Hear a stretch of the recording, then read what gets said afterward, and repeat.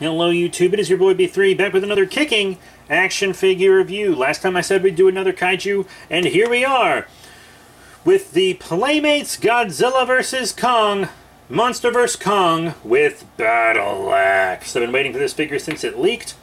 I'm getting it a little bit later than other people just because there's not a Walmart near me, straight up. There just isn't. Um, I actually wanted to get the Skullcrawler first since it's one per case, but I got Kong instead and passed on the Atomic Breath Godzilla.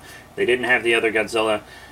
Uh, I don't know if I'll get the Godzillas because I just have so many 2014 and 2019 Godzillas that I don't feel like I need them. Uh, but Kong and the Skullcrawler must-haves because this is our first 6-inch of Kong looking like this, and it's our first big Skullcrawler that's articulated as well. So, uh, here he is in packaging. I really like the color scheme that Godzilla vs. Kong is going with, the blue and orange, because blue and orange like really clash, but that's kind of the point. And also I think orange is an underused color in general. Uh, but there's Kong in the package. Now you rotate, you got some Monsterverse with Kong. Got Kong here on the back. It's got a couple read-ups. Legends collide as Godzilla and Kong, the two most powerful forces of nature, clash in a spectacular battle for the ages. The monster war rages on the surface and deep within our world as the spectacular secret realm of the Titans, known as the Hollow Earth, is revealed. I heard they actually might fight um, in the Hollow Earth, which is pretty cool. So Kong with Battle Axe, feel the mighty strength of Kong as he enters the ultimate battle royale against Godzilla with bone-crushing primal strength and a legendary new weapon fit for a king. Battle damage reveal, collect them all. You see you got the Godzilla with Heat Ray, which I'm probably going to skip on. I got the, you know, Kong with Fighter Jet I'll probably skip on also, just because it's basically the same figure with a different face and different uh, accessory. Skullcrawler with Heave is a must-have. Warbats, I guess they're calling it Warbat now, with Osprey as a must-have, since it's really the only figure of that creature. And then a Godzilla with a radio tower I'll probably pass on as well. Yeah, I did see reviews for both of these, and they looked like cool figures, but they're not super duper something that I need. So you know, let's put this guy out of packaging. And here we have our Kong with Battle Axe out of packaging. Yeah, pretty cool. I actually want to talk about the accessories first. So I guess we'll talk about his gimmick first, actually, since accessory is part of it. Uh, all these figures have like a gore gimmick. People are calling it a battle damage gimmick, but that's, I mean, that's technically correct, but it's also a gore gimmick. Um, so you show lots of Kong's muscle after he's torn open. And then you have a piece like this, right?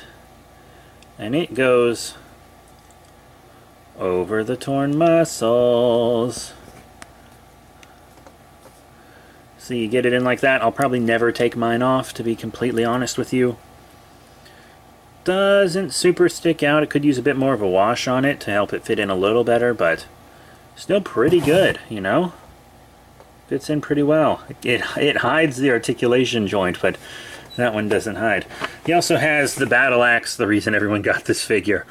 Um, very, very cool. This looks like a bone from a kaiju, perhaps, even though it's not painted like a bone. You could easily fix that if it is indeed a bone. And then it's wrapped up. Uh, and this looks like one of Godzilla's spines, right? It looks like one of his scutes. Like he's made an axe out of one of Godzilla's scutes that he ripped out. So that's pretty cool. Yes, I figure it could be one of the ones that Muto Prime knocked out, because Muto Prime knocked all his scutes out, and that's why they regrew a different shape for the 2019 movie. That's why they look different, because he actually grew new spines. But it's more jagged like his 2019 spine, so it looks like it might be one he rips out in the movie and then makes a weapon out of for a fight later on. Let's fit it into his hand. Well, that fits just dandy. That fits just dandy. Look at that. Kong with Battle Axe! God, I cannot wait for this movie to come out. It's going to be so cool. Uh, whether it's good or not, it's going to be cool. but the others have all been good, so, you know. Nice. Uh, yeah, now let's talk about yep, articulation. He actually has a pretty good bit side to side on the head. No up and down, but I'm kind of used to it with kaiju figures. up and down on the arms, forward and back, elbow bend. You also have an elbow swivel, uh, wrist swivel. Then there's nothing on the torso, but you do have forward and back on the leg. You got a rotation on the leg. You got a knee bend that also goes pretty far forward. I mean, that's a lot of articulation. You know, lots of these, like, uh, kids' kaiju figures often have little to no articulation. They really do. So it's nice to see Playmates having some decent articulated toys for kids. And remember, this is for kids, so do not judge it by adult collectible standards. I think we can see how Kong has kind of changed over the years, you know. Uh, he's kind of bearded now, bigger. Um, I don't know if he'll be a darker color like this in the movie or not, or if that's just for the toy. I feel like this scar isn't long enough. See how the top scar like is just little? I felt like it was longer in Skull Island, but I might be wrong. It's been a while since I watched Skull Island. I should rewatch Skull Island. I really enjoyed that movie. Um, yeah, there's less paint on the back, but it's still detailed very well. You know, he's a good-looking figure. He's just a good-looking figure. Uh, I'd buy one of these if I had a kid. I'd buy one of these for my kid if I had one.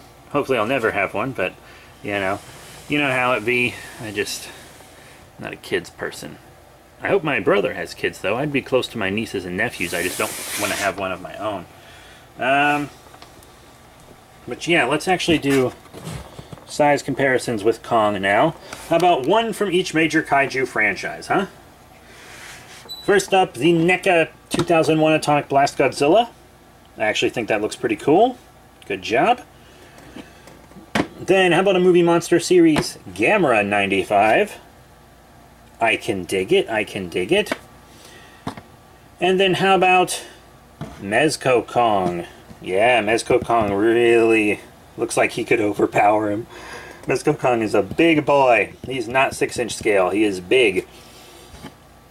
So that's pretty cool.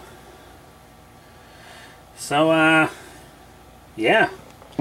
You know, I really, uh, I dig this Kong. So what are my final thoughts on the Godzilla vs. Kong, Kong with Battle Axe figure from Playmates Toys? I dig it. I like the direction Playmates is taking with them, giving them enough articulation so that kids can really have fun with them.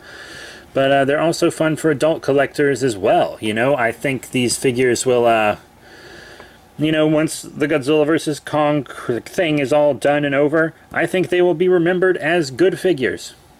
Or at least this one will be, because this is the only one I have, so I can't really say much.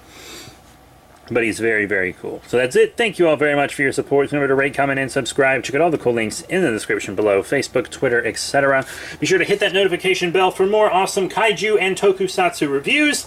And if you want to see more Kaiju and Toku content, you can follow us on our second channel, B3 Productions. Link in the description below. So that's it. Thank you all once again, and I'll see you all next time.